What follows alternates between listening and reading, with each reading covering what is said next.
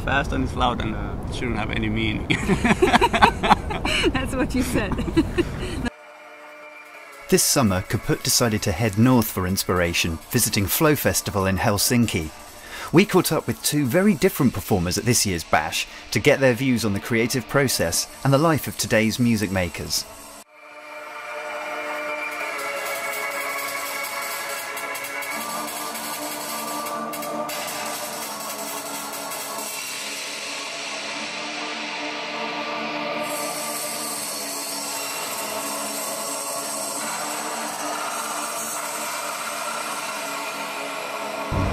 Yeah, I'm hoping to get the money pressure out of the picture. So I, I try to, you know, get by with less.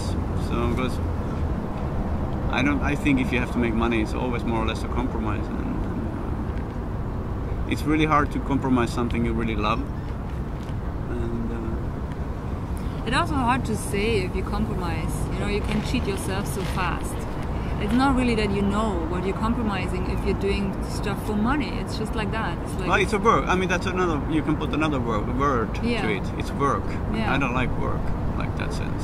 Uh, I don't like to do work You with like something. work. Yeah, but yeah, but not with work aesthetics. You know, like that you have to work. If if it's if you like doing something, it's it's different. It's a passion or pleasure or something. But Passion, yeah. yeah, but if you get into something, you work 24/7 for like months. Yeah, but not because you have to. It's No. because you want to. Yeah. But the work to me is like you have to do touring so you can get your Yeah. pay or whatever um, flat and stuff, and that's something I I always had a big issue with that.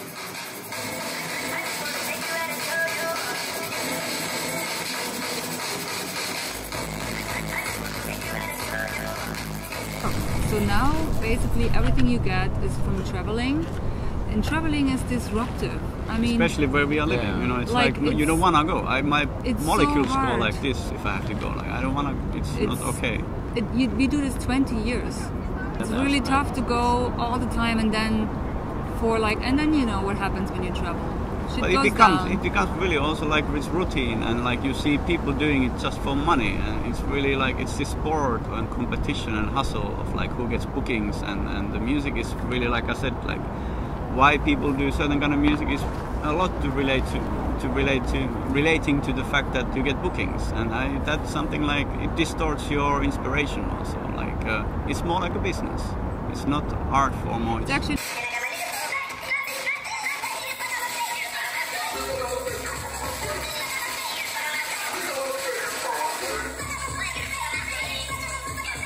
Yeah, last time I played a year ago, uh, live show.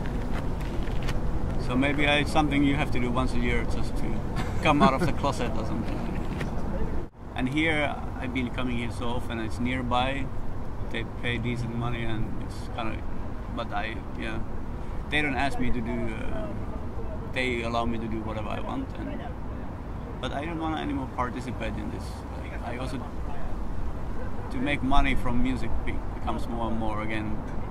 Maybe it goes in waves. I had the same maybe 10 years ago. And actually, then I sold my studio and everything. And, but then I picked it up again. I don't know if it will happen again, but just too much dissatisfaction on, on don't relate to the scene. Trying to maybe find some more meaningful, more inspiring surrounding to do work if I have to do work and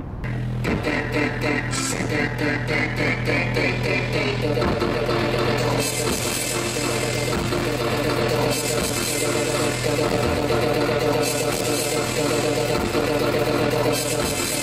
just do the visuals tonight. a mental support. You mean like tonight? I'm gonna do visuals. I have worked hard for them. I did. She works hard. I want to make. Um, I found some interest to do visuals because um, working with audio now for 20 years this is cool, but it was kind of nice to do something totally new. So I'm really, I really care for it and try to figure it out.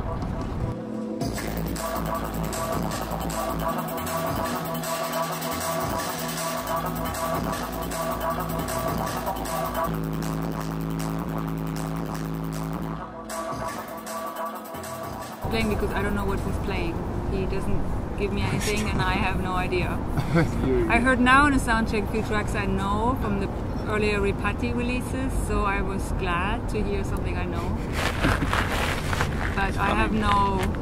He just said it's fast and it's loud and and I don't want any meaning. he said so.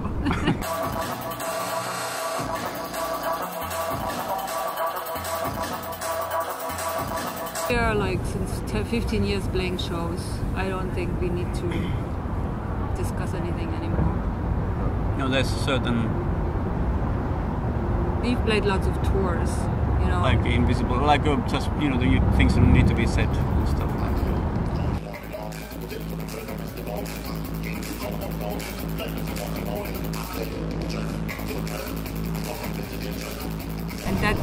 because we live on an island doesn't mean that we don't know we know everything. Maybe we have some even more time to look at at what's coming out than people who are in a city because they have to go from A to B. We are we have a fast internet and we are in the woods and we can have any information which is online as well.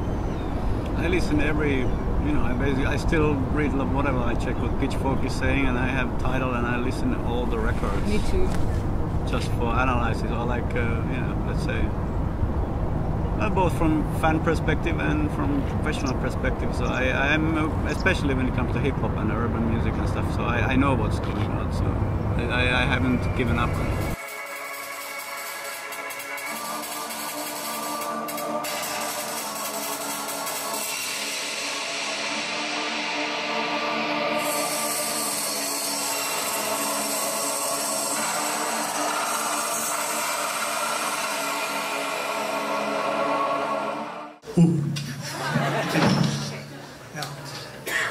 Welcome to this concert of the music of Steve Reich.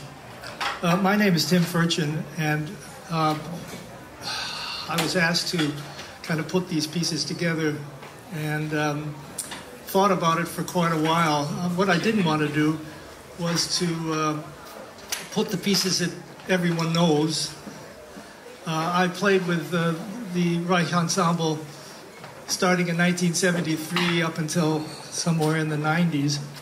So I managed to come across a lot of these pieces uh, during those years. And I thought for a change it would be nice to put on some of the pieces that are not really played anymore uh, and some of the pieces that are played very rarely.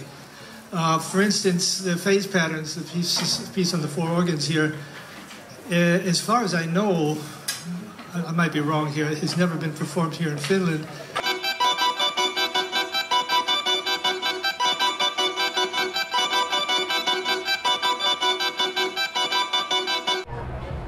my feeling about this music is maybe this sounds terrible, but I like the music as pure as possible. I- I don't want any emotion in it. He doesn't either. I don't think there are no dynamics. Maybe there there might be in these newer pieces, but in the older pieces, there's no dynamics. There's no expression. There are no ritardandos. There are no accelerandos, and and uh, the best performance of these pieces is when they sound like a machine.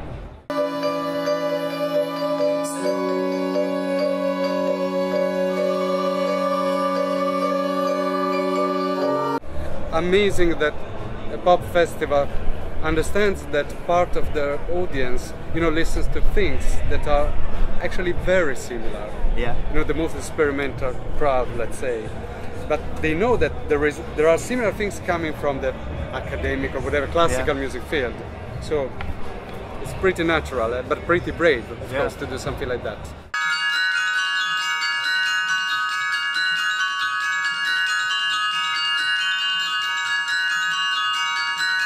But the, I mean, the, the idea of this concert for me was just I, I really wanted people to see where this stuff is coming from because you listen to the beauty of things like 18 musicians, and it didn't start there at all. The, the early music is really ugly.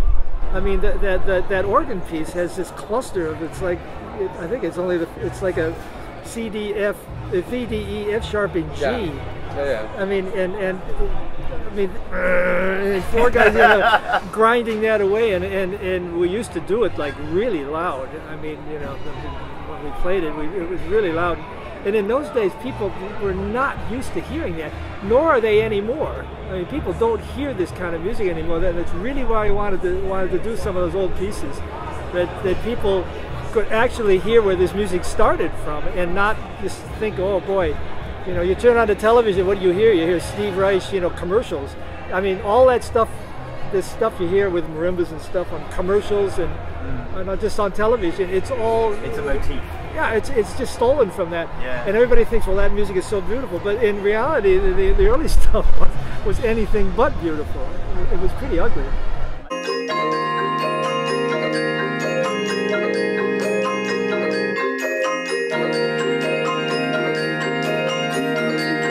The other two pieces uh, are in, they work in a such a way that, that, that all the musicians have a different downbeat to the measure and you get there, as I explained, you know, during the concert, by by slowly speeding your the this, the identical pattern that you're playing with somebody next to you. You speed your pattern up, and so you're in front of him. Um, so that creates a whole, you know, a new rhythmical and a, and, a, and a different melodic thing. That is unbelievably difficult to do because musicians, first of all, the guy who you're playing with as you speed up, he'll usually want to come with you because yeah. you know you, you have this this normal thing to just stay together. So he has to learn how to stay there, and this guy has to be able to go ahead and know by looking or listening when he's arrived because what your hands are doing and what's coming into your ear are completely different and it is very uh, disassociating. You you can you, you you literally as you're playing along, your hands just go like this because you, you, know the the audio and the visual thing don't hook up. Yeah. So it's a matter of really learning to concentrate, and you can only do that over over like a long period of time.